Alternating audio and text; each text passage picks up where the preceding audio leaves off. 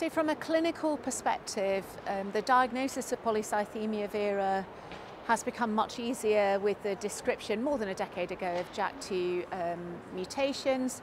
That means we're picking up patients with unusual presentations, now increasingly perhaps picking up patients with a very low level JAK2, but the approach to management is really largely assess the risk, that includes vascular risk, we're a bit bad at doing that in our routine practice, so call out to everyone to think about that.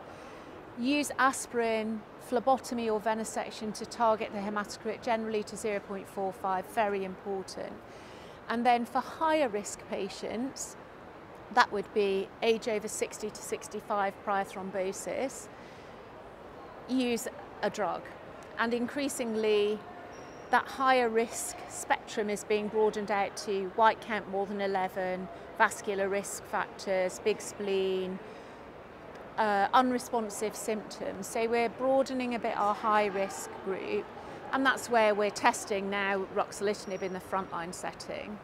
But I think increasingly our approach to PV is being a little bit turned on its head to think we should be going earlier in the treatment paradigm because we now have data that reducing the amount of JAK2 or the JAK2 VAF leads to survival advantage for our patients that came from the MAJIC study and other studies, now we're thinking, should we be treating patients earlier? And that's coupled with some big cohorts, including some from ourselves in the European uh, Strategic Working Group, showing that younger patients treated early with interferon have much better myelofibrosis-free survival. So changes in the field, integration of molecular response and earlier treatment as well as trials. So really busy in PV.